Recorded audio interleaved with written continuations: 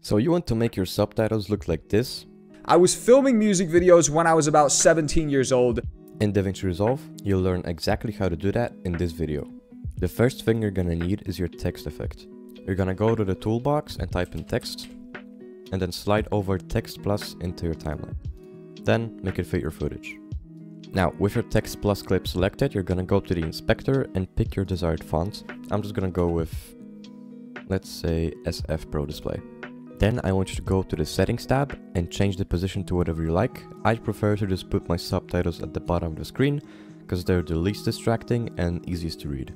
Now we're gonna go ahead and adjust the size of your subtitles. I'm gonna go with 0.08. You want to make them big enough so that they're readable but also not too big to be too distracting and take over the video. Now this is only the foundation of your subtitles. What we need to do now is to make them look better.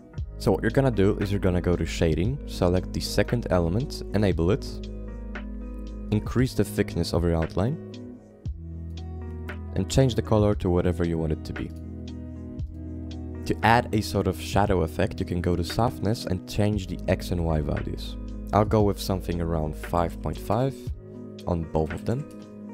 And this adds a nice shadowy effect to our subtitles.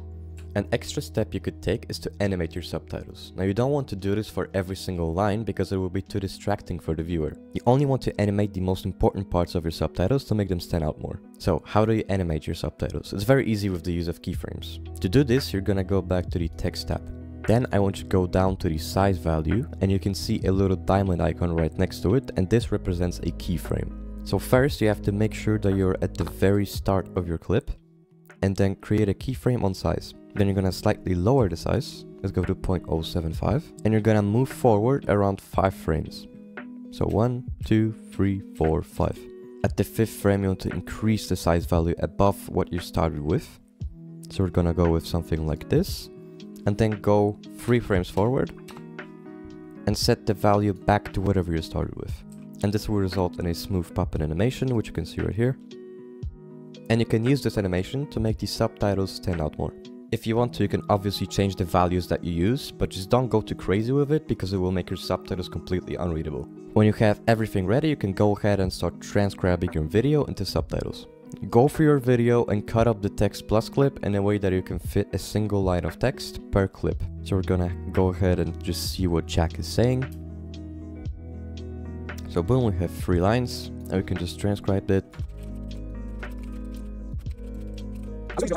You definitely should experiment a little bit with the shading tab to just make your subtitles look like you want them to.